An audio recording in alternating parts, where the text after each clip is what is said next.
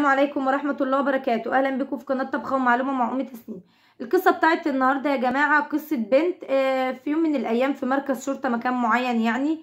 البنت دي دخلت وكان معاها شاب سوري كانت داخلة بتتكلم مع مركز الشرطة مع الضابط بتقول له أنا عايزة أعمل محضر إن في تلاتة اغتصبوني غصب عني و... وكنت عايزة أعمل لهم محضر وكده. قال لها خلاص ماشي احكي لنا القصة واحكي لنا إيه اللي حصل بالظبط.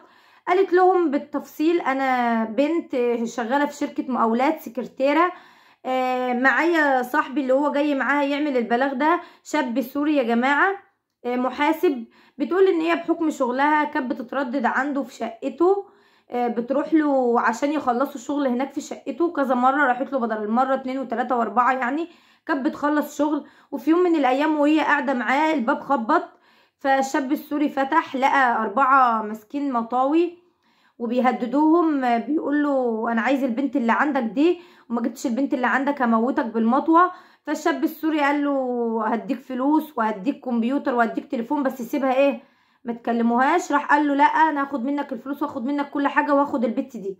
وفعلا خدوها ونزلوا بيها يا جماعة في عمارة تحت الإنشاء كده دخلوها واغتصبوها لمدة 12 ساعة. آه، وبعد كده هي مشيت وقالت لما شدي حيلي شوية هروح إيه؟ كان طبعا تحت كل ده تحت تهديد السلاح يا جماعة. آه، قالت هشد حيلي شوية وبعد كده أروح أبلغ مركز الشرطة. فطبعا آه، راحت وكانت بتتقدم ببلاغ فالظابط طبعا مش أي حد يقول له أنا حد اغتصبني هيصدق كده يا جماعة. قال لها خلاص ماشي آه، بس انتي اغتصبوكي كده إمتى؟ قالت لهم آه، من قيمة آه، عشرين يوم.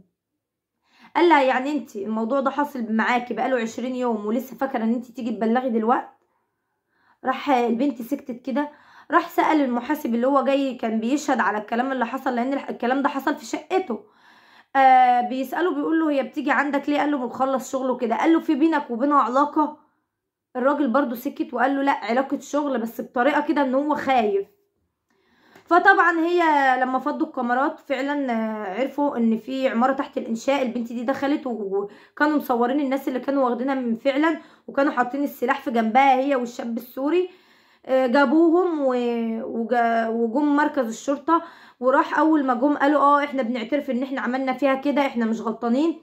بس البت دي بتروح للشاب السوري دي وماشية معاه ماشي مش محترم وبتعمل كده مع أي واحد وإحنا خد- خدناها وعملنا فيها كده عشان تتربى.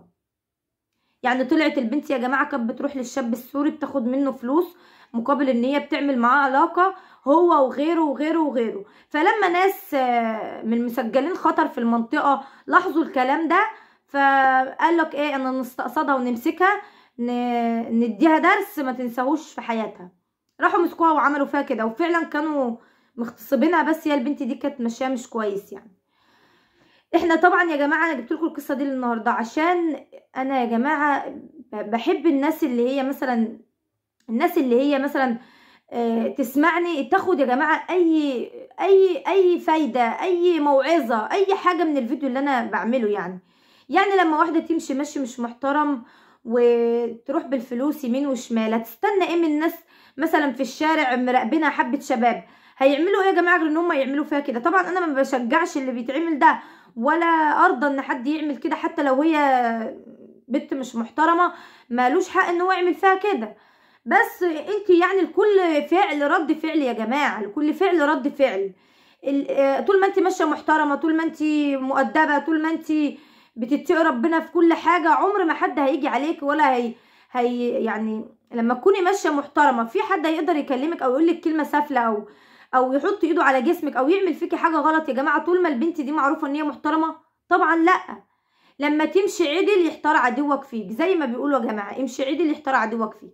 يا رب الفيديو يعجبكم ولو عجبكم ما تنسوناش باللايكات يا جماعة بقى والاشتراك والتعليق. السلام عليكم ورحمة الله وبركاته.